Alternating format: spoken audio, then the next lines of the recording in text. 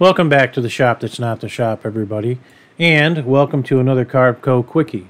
Now what I'm doing here is I'm generating an image, a bunch of vectors, to simulate the question that was presented on Facebook.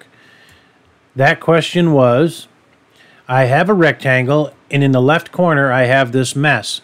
How do I get rid of that mess and close the rectangle back up while creating a nice square? Here's how I answered it and here's how I would do it.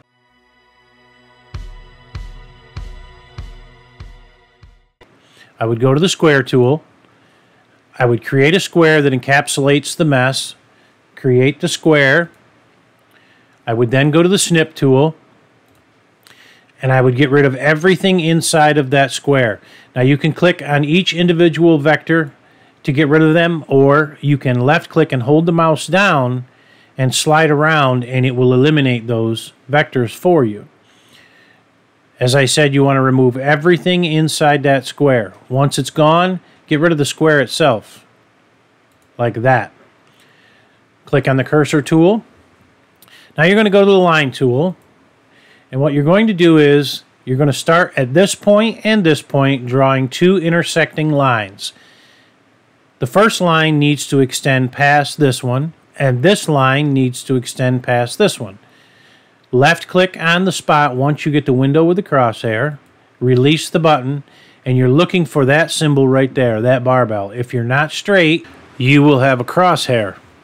Once you have the barbell and it's extended past the bottom vector, left click. Push space on the keyboard, that'll get rid of the tail here that we're generating.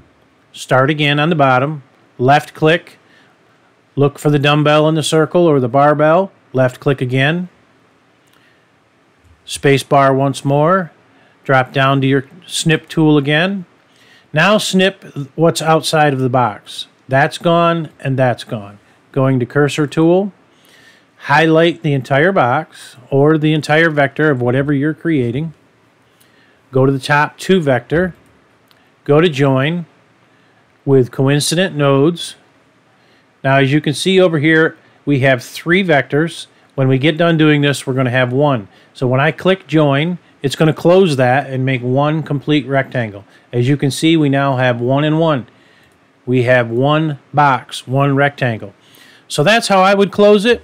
And I hope you learned something from this video. As always, give us a like, share, and subscribe if you haven't done so already. I'll catch you on the next one.